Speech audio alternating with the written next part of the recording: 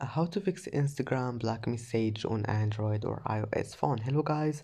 In today's video i'm gonna show you how to fix instagram black message easy, uh, easy and quick. Uh, first open uh, play store or app store and then make sure your instagram is updated. Just see if there is any update here. Click on it and that's it. Your problem is fixed. And if that also doesn't fix your problem then uh, go to settings and uh, go to battery make sure power saving mode is disabled. Then uh, restart your phone and try again and if that also doesn't fix it then all you need to do uh, this one for android phones go to settings apps and then apps again. Type here instagram click on it click force stop and then go to storage clear cache.